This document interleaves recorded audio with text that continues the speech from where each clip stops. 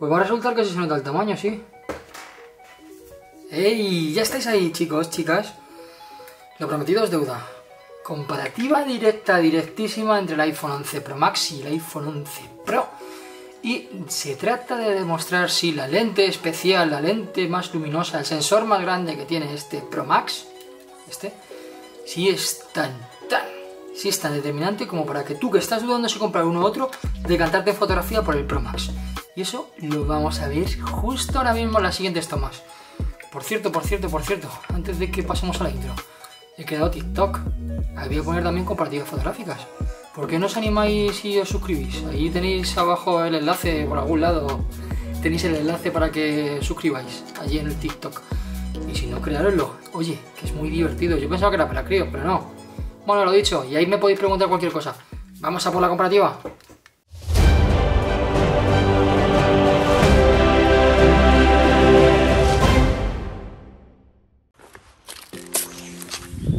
Buenos días, pues ya estamos aquí en pleno otoño. Y vaya, no es el mejor día posible, ¿vale? No es el mejor día posible porque está nublado, está empezando como a llover, así que las pruebas ahora diurnas de las cámaras del 12 Pro y el Pro Max no van a ser lo efectistas que serían con plena luz del sol para ver cómo trabaja esa obturación, para ver cómo, cómo interpreta pero vamos, es lo que tenemos, porque tenemos que sacar el vídeo ahora, así que es lo que tenemos. De todas formas haré una versión, una review profesional del iPhone 12 Pro Max, pero bueno, es otra historia. Así que vamos a ver también qué tal trabaja la estabilización por el día, con ese sensor estabilizado y todo lo que dije antes en la intro. Así que vamos a empezar con todo esto.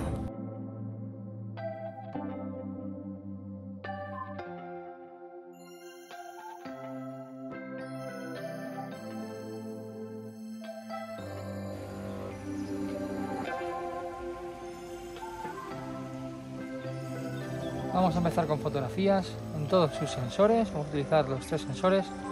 Ya os comento que la diferencia. Ah, ya os comento que la diferencia que hay es que han cambiado dos de los sensores principales. Ha cambiado el teleobjetivo, que ahora ha pasado de 2x a 2.5, 65 milímetros de los 52 que tenía anteriormente. Buen intento por Apple. Creo que puede funcionar. A mí me gusta, no necesitamos tanto o sí, eso ya depende de cada usuario. Hay otras alternativas en el mercado para si queréis un teleobjetivo en condiciones, óptico. El sensor principal también ha cambiado porque es más grande, es 26 milímetros más grande y ahí es donde yo veo la, gran potencia que puede tener este móvil, pero a lo mejor no es tan determinante con mucha luz. Eso lo vamos a ver también ahora, aunque no tenemos el día que nos invita a ello, ¿vale? Y luego tenemos el gran angular, el mismo 16 milímetros, esto no ha cambiado, tiene lo mismo, hace lo mismo, y ya sabíais que ya sabéis, si no lo visteis en el vídeo, que en el Pro Max mm, ya lo visteis, que ya lo visteis en el vídeo, en el Pro no me gustó mucho la gran angular. Y ojo, sí que han mejorado mucho. Venga, vamos a seguir a tirar fotos ahora. Lo primero que salta a la vista, que nos va a quedar claro viendo este carrusel de imágenes, es que sí, tanto la lente principal de 26 mm como la de 65 mm del Pro Max están unos pasitos por encima. Como veis en las animaciones que estoy haciendo acercando ambas cosas, se ve esa nitidez extra, esa capacidad mayor de información en el Pro Max que en el Pro. Bueno, esta primera prueba rápida, interesante, se ve algo claro, se ve algo rápidamente una vez después de analizar las imágenes en el ordenador principal. ¿Y qué es lo que se ve claro? Bueno, que el ultra gran angular no parece que se haya tocado nada, Sí que utilizan algoritmos diferentes, pero también es probable por el encuadre al cambiar, eh, donde esté el punto de encuadre, eh, pues decide tomar una forma u otra. Eso siempre influye en la nitidez, en la compresión, en el balance de blancos. Sí es verdad que en ocasiones he visto un balance de blancos un poco diferente, curioso, en favor del Pro normal, ¿eh? Ojo, en favor del Pro normal. Pero por general esa lente es idéntica, así que no os preocupéis, que para bien o para mal, más bien para mal, que yo esperaba algo más, la lente es idéntica. Si pasamos a la principal, pues sí, sí que se nota. Hay que, hay que utilizar lupa. Mucha gente que no tengáis ese ojo clínico y os dará igual, no lo notaréis, pero sí, sí que se nota mejor corrección de ruido y sobre todo efecto de profundidad. Sí, esto mismo. ¿Veis? Ahora aquí veis esto difuminado, pues el efecto de profundidad del Pro Max es mayor y bastante interesante contra el Pro normal. Y luego el teleobjetivo, otra gran sorpresa de esto primero que hemos visto. Esos 65 milímetros contra esos 52 tienen sus detalles, tienen sus detalles. Pero tenemos que seguir viéndolo. Cámaras frontales, aquí no tendría que haber ninguna diferencia, mismo sensor. Debería ser el mismo algoritmo, aunque Apple suele, no sé bien por qué, trabajar con diferentes algoritmos. Pero ya os digo que en principio debería ser lo mismo. El día no pudiera mejor porque está empezando a llover. No se notará, pero fijaros las nubes y puede caer bastante. En las fotos anteriores podemos ver que hay un ligero cambio de, balance de blancos, curioso. Puede incidir también que están en diferentes composiciones. La lente del Pro Max está más arriba por el tamaño, la otra más abajo. Están contrapeados los dos móviles, es lógico que tengan el módulo en diferentes sitios, pero aún así es bastante curioso que utilicen balance de blancos distintos. Pero vamos, seguimos con ello. Vamos a ver el lago. Aunque el día no acompañara con la luz, sí que podíamos ver bastante, bastantes funciones de lo que son los parámetros básicos en fotografía, o sea, una buena exposición, una buena colorimetría, una buena definición, el diffusion funciona bastante bien, la lente angular se porta, es correcta, pero no es de las mejores del mercado, sí es muy buena la principal y sí es muy buena la tele, que hay que analizarlas muy a fondo. A ver, siento mucho que el día, como podéis ver en los clips, sea nublado. Eh, también cuesta en días nublados que se porte bien la lente y la de los iPhones se han portado muy bien, pero no sacamos todo, toda la capacidad del sensor. Está bien, es una forma de ver profesionalmente hasta qué nivel llegan, que es un nivel bastante interesante, pero eh, debería de haber tenido un día luminoso. Pero bueno, como la review total del iPhone Pro Max la haremos muy profesional y con bastantes y diferentes luces durante el día, pues ahí es donde podremos tocar bien a fondo el tema. Pero como ya habéis visto, eh, las ligeras novedades que trae el Pro Max sí que se pueden ver, pero no son tan fácil verlas, no por lo menos durante el día. Vamos a ver en totalidad el teleobjetivo de 65 milímetros y el de 52 del iPhone Pro normal. Vamos a ello.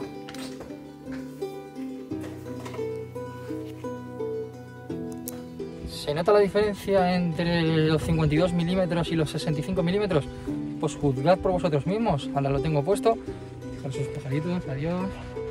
O sea, claramente sí se nota esa pequeña diferencia. Esos 13 milímetros de más se notan. Claro, se notan. Pero son mejores en el Pro Max. O quizás este punto ha hecho que empeore. Tened en cuenta que la apertura se ha hecho más grande. Vamos a dedicarnos ahora a las próximas fotos solo en el teleobjetivo. Vamos a ello. Aquí un pequeño recital del teleobjetivo que no hay que ser muy profesional para verlo. Ese 65 milímetros es un as bajo la manga de Apple. No estoy diciendo que sea mucho mejor, pero sí saca un rendimiento óptico excelente. También una gran profundidad de campo, un buen rango dinámico, una buena elección de color, un buen balance de blancos. Eh, está unos pasos por encima del, del normal. Pues sí que se nota, sí que se nota y normalmente para bien. Eso significa que al tener 65 milímetros, al tener una apertura, aunque es 0,2 puntos más grande, pero se nota esos 65 milímetros porque el efecto profundidad es más, más acusado y a la vez está muy bien resuelto. Como habéis podido ver las fotos macros, que aquí por ejemplo podéis ver justo qué diferencia hay entre el Pro y el Pro Max. Y si se nota nitidez, si se nota, son curiosidades y este teleobjetivo quizás lo tendría que haber llevado el Pro, Apple. No lo has metido. Claro que entraba. ¿Por qué no lo has metido? ¿Por qué no lo has metido? ¿Por qué no lo has metido? No lo sé, pero no estaba. Vamos a seguir. Vale, después de ver esas fotos entre teleobjetivo se notan matices. Hablemos de los matices. Sí parece que el efecto profundidad es un tanto mejor. También es lógico por esos milímetros de más. Y unas aperturas tan similares, creo que estamos hablando de 2.0 y 2.2. Se nota ese pequeño efecto de profundidad algo más logrado. Está por ver, ¿vale? Las fotos de las plantas se ha podido ver. También podemos ver que sí que emplean el mismo balance de blancos, pero no la misma, no la misma textura. Cuando digo la misma textura es que se ve más nitidez en ciertos lugares de las tomas en el nuevo teleobjetivo. También está más cerca, es lógico, pero depende de la zona del enfoque y dónde trabaje, podemos ver en el cartel que se leía mejor en el Pro normal. curioso, curioso. Y vamos a seguir. Está sucio el agua, ¿eh? verde, verde, verde. Sí, sí, el balance blanco no lo está haciendo mal, es verde, verde, verde. Grabando en 16 milímetros y esto que estoy viendo ahora nunca me hubiese atrevido porque empieza a llover y no hace tanto que los iPhones se pueden mojar. Así que es un plus, chicos, chicas, es un plus de verdad. ¿eh? Y bueno, eh, vamos a acabar tirando las tomas finales.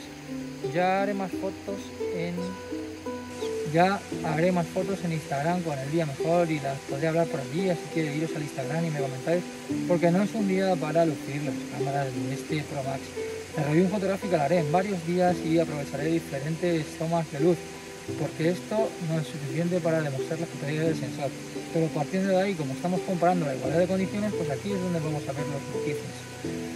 Estamos trabajando con todas las cámaras y esto es lo que da de sí. La gran angular, bueno, pues el día ya ves lo que tiene. ¿Y qué tiene? Y los 13 milímetros y no los 16, como dije en el vídeo, están bastante trabajados durante el día, pero meten mucho ruido, incluso con buena luz, eh, como era el caso, aunque, aunque estuviese nublado teníamos buena luz, no, hubiese, no ha subido mucho la ISO, desde luego que no, estaría en 400 o 200. Tiene ruido, tiene ruido más en las esquinas, pero tiene ruido y se comportan por el estilo. Ya os digo que el balance blanco es un punto menor y parece que, el algoritmo incide en meter más, más información en ciertas sombras y en ciertos detalles que no tiene el Pro. Y si os fijáis bien, cuando tiene la pantalla partida se podía apreciar, pero no es determinante, son prácticamente similares. Vamos a por más. El selfie aquí no sé si porque la lente estaba sucia se ve como ensuciado lo que es el Pro Max. Curioso. Las conclusiones precipitadas que sacas en este momento después de haber visto todo desde los móviles, porque ya sabéis que solo hablo y hago una pequeña valoración con lo que veo en los móviles y luego ya en el ordenador es donde precisamos, es que quizás la mejora del sensor más grande, la lente principal, no es lo suficientemente interesante como para que sea un motivo de compra, por lo menos durante el día, que ahora pasaremos a la noche. Pero la teleobjetivo sí trabaja mejor. Esos 13 milímetros de plus nos pueden servir para ciertas especialidades fotográficas. Ahora diréis, sí, la competencia tiene 120 milímetros, tiene barbaridades, sí, y por supuesto a lo que os gusten los objetivos y sí, por supuesto a los que os gusten los teleobjetivos, si queráis tirar fotos o fotografía, zoom, incluso fotografía macro con zoom, es una gran utilidad y este no es vuestro móvil, porque el zoom óptico, porque el zoom digital no vale para nada. Y si no, aquí tenéis unas últimas pruebas. Os he dicho alguna vez que odio los zoom digitales, vengan de quien vengan, sobre todo de Samsung y su 100X o de Huawei, porque son una mierda. Pero en Apple, pues sí, Apple es más conservadora y mete poco zoom digital para que no se noten mucho los problemas, aberraciones y demás, pero las tiene y no valen para nada estas imágenes, lo queráis ver o no, pero trabajan mejor en el Pro Max. Y las capacidades de vídeo, una vez analizadas en total exactitud, sí podemos decir que los sensores trabajan muy bien, los algoritmos son un tanto distintos y el principal es mucho principal. Si tuviésemos que hablar en porcentaje, quizás yo le daría que es un 10% mejor, no en todas las situaciones. ¿Que es suficiente? Hombre, hay momentos que ese 10% se puede convertir en un 40 o un 50 pero es determinante para comprar el Pro Max Pero es determinante para comprar el Pro Max y no comprar el Pro.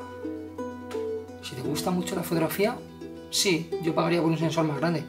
¿Son 100 euros muchos? Son 100 euros, son muchos. ¿Puedes pagarlos? Eh, Max es una opción exquisita. Si ya valoramos en tamaño y tal, si no te gusta el tamaño grande, olvídate y la fotografía te puede valer. Pero si no, es una opción muy válida. Seguimos. Pues ya habéis visto, son pruebas muy poco usables. Hasta 12X o 120 milímetros en el iPhone Pro 12 Max. Hasta 10X en el Pro. Y son pruebas que, bueno, para determinada función, queréis tirar una foto a un cartel que está lejos para información o, o queréis tirar fotos a un amigo que está lejos haciendo algo, amiga y compañía. Bueno, que son fotos válidas para mantenerlas como una opción artística. Todo se puede arreglar. Y con luz algo hace. Pero no, no, no, no. Olvidaros. Esos 12X y 10X están, están de adorno. Y para acabar la parte diurna con luz, vamos a utilizar el ultra gran angular 13 milímetros con ambas cámaras aquí el proceso la renderización procesado total debería ser el mismo. Las dos cámaras deberían de darme la misma información las dos cámaras deberían utilizar la misma información de cualquier parte de, del escenario de la toma así que no creo que haya muchas diferencias pero así es como graba obviamente está súper estabilizada Ay, estoy cansado. Así que chicos pasamos al estudio. Os hablo de lo que hemos visto principalmente y de manera profesional. Y después la noche. Venga. Pues resumen del día. El día es que ese porcentaje que hablé antes es ligeramente superior el Pro Max. Ligeramente ligeramente no es suficiente. Obviamente en manos más profesionales, si nos dedicamos en plan profesional, podemos sacarle ese partido al sensor, siempre utilizando el principal. por ejemplo, en el teleobjetivo también, siempre sabiendo cómo sacar provecho a la escena utilizando la luz y ciertos trucos fotográficos. ¿Es mucho mejor? No, no es mucho mejor. ¿Es suficiente? Eh, bueno, sí, claro que es suficiente, pero el Pro de haber buscado alguna solución para haber metido ese sensor y tenerlo los dos, porque no tendría que haberlo hecho menor. Entiendo que es una opción de marketing, entiendo que quizás no han querido utilizar más espacio y dejarlo todo muy compactado, pero seguro que hubiesen tenido recursos para meter ambos módulos en la cámara. Pero vamos, que es una distinción, vosotros tenéis que elegir. Y ahora a la noche, así que os dejo a oscuras. Bueno, pues ha tocado la noche, ya estamos aquí, prueba de juego, ahora mismo a ciegas. Es la primera vez que utilizo el teléfono para grabar y técnicamente tenemos un 80% más de capacidad con poca luz. El sensor es mucho más grande. Pues mirad, en esta primera prueba ciegas os puedo decir, una vez visto el material, que tampoco son tan diferentes. balance de blancos está utilizado el mismo. No hay luminosidad extra como tal, pero sí parece que hay menos ruido en el Pro Max. Pero para eso está yo, para probarlo bien. Ahora bajamos la luz me meto a posta en una zona donde le tiene que costar, solo tenemos la farola, que yo la estoy proyectando sombra. Y aquí es donde se deberían de ver algunas más las diferencias. De hecho, os voy a hacer zoom a mi cara en las dos cámaras para que veáis hasta qué punto trabajan ese reductor de ruido ambas y hasta qué punto se nota el sensor mayor del Pro Max. ¿Será tanto como marketing o será de verdad? Bueno, ahora unas pocas fotos. Ahora, aquí sí es donde entra el super recital del iPhone Pro Max, el iPhone 12 Pro Max. Eh, fotos más contrastadas, con más información, con mejor recogida de información en Deep Fusion. Lo podéis ver en las texturas del suelo, lo podéis ver en el cielo. El balance blanco sí que parece sacado de Homer Simpson y de eso tendrán que mejorarlo en una actualización, pero mucho mejor. Vamos a hacer una puntualización y eso que estoy grabando con la cámara frontal para que veáis un poco cómo trabaja. Aquí deberían de ser iguales, eh, pero no es de lo que yo hablar, pero bueno. Me voy a centrar ahora en las fotos del, del, objetivo, ¿vale? A recordar que tenéis en el Pro normal un 2X, en el Pro Max un 2.5 y he visto, como habéis visto en la foto anterior y ya he explicado, que eh, mejoraba mucho lo que es el artefacto del suelo. La textura del suelo estaba mucho más conseguida en el Pro Max en estas primeras fotos. Ahora, lo que veo a continuación van a ser solo fotos en 2.5. Vamos a ver si es tan mejor como me ha parecido vamos a ver. Pues buen detalle esto de la cámara frontal. Aquí se ve bien por la noche. Tengo una farola que está ayudando, pero hay ruido, bastante ruido. Y el ruido, el ruido digital, ese grano, es igual. Así que diferencias ahí. La cámara frontal podéis tener por seguro que es idéntica y los algoritmos más o menos trabajan de manera similar, por no decir igual. Así que eso que os quede bastante claro. Y lo mismo ocurre en la lente de teleobjetivo y eso que ninguna vez se repite el balance de blancos entre ellas. Es más conseguido el del Pro, ¿vale? Mm, no sé bien la razón del algoritmo, pero la definición mucho mejor en el nuevo teleobjetivo del iPhone 12 Pro Max. Bueno, y una vez pasado todo por el ordenador, tengo que decir, por supuesto, que por las noches sí que le mete un buen repaso, sobre todo en esos 26 milímetros. Ese sensor que no he hablado, ese sensor estabilizado, tiene mucha parte que ver. Y aparte del tamaño del sensor, que es más grande, lo suficiente como para conseguir ese 80% que promete Apple. Por la noche, sí es un espectáculo. Pero como ya dije y os quede muy claro, el modo noche no necesita menos segundos en el Pro Max que en el Pro. Utilizan exactamente los mismos, pero los resultados son bastante, suficientemente mejores. Aunque ahí sois vosotros los que tenéis que decir si para vosotros ese suficientemente mejor, pues vale. Para mí, y profesionalmente hablando, sí que hay diferencia sostenible, diferencia potente para decantarse si vamos a utilizar el móvil para escenas más complicadas sin necesidad de tener más capacidad a la hora de, enfrentarnos a temas más oscuros. Este Pro Max con este sensor más grande, siempre que usemos el 26 milímetros, menudas chapas estoy pegando, vale, tenerlo muy claro. Mis primeras interpretaciones son varias, ¿vale? Eh, estamos aquí, todavía no las he visto en el estudio, pero sí puedo decir que lo que es el fondo, lo que es el efecto profundidad, el ruido lo corrige mejor el Pro Max. Sin embargo, nitidez, en artefacto, en información, no apostaría por ninguno de ellos todavía. ¿eh? Tened en cuenta que la apertura es un poco mayor, es un poco más grande en el Pro Max, que eso es bueno y malo, me explico. Entra menos luz, tiene que forzarse más el Pro Max para levantar más la luz, pero es bastante poco, lo suficiente para el aumento de ese 0.5 de zoom. Pero vamos, que no me queda claro que tenemos que pasarlas por el ordenador. ¿Vosotros qué opináis? Hmm, ¿Cuál comprar? iPhone 12 Pro Max, iPhone 12 normal. La gran pregunta que muchos queréis que os la resuelvan, gente como yo o compañeros. Yo diría que si lo queréis para fotografía y queréis tener un poquito más de teleobjetivo con muy buen resultado y tener esa capacidad de sensor más grande, que lo tenía que tener el Pro, esa capacidad de sensor más grande, que funciona muy bien, sobre todo cuando nos falta la luz, la respuesta es un sí rotundo, aunque con un asterisco. Las diferencias a ojos de gente normal que no está muy, muy metida en fotografía, le parecerá bastante parecido. ¿Y eso es bueno o malo? Lo dejo en vuestras manos. Ahí ya lo decidís vosotros. Yo lo recomiendo. Y si no, preguntarme y decirme lo que vais a hacer con vuestros móviles y ahí ya os daré yo más pistas para ver cuál tenéis que coger. Con la palabra en la mano. Por cierto, os he dicho que os metéis al TikTok, ¿no? Venga, suscribiros, crearos una cuenta que os va a gustar. De verdad que no os va a gustar una cuenta en el TikTok, pero habéis parado a ver los pedazos de historias que hace gente que crea unos contenidos con el móvil que son de flipar. Yo que me considero regular para bien editando, veo a gente que digo, la madre que me parió. Mamá, lo siento, pero lo hace muy bien. Bueno, lo dicho, si os ha gustado el vídeo, dadle like, compartir, suscribiros y nos vemos pronto en review del iPhone 12 Pro Max. Y cualquier cosa que queráis que haga de más, me lo decís. ¡Hasta pronto!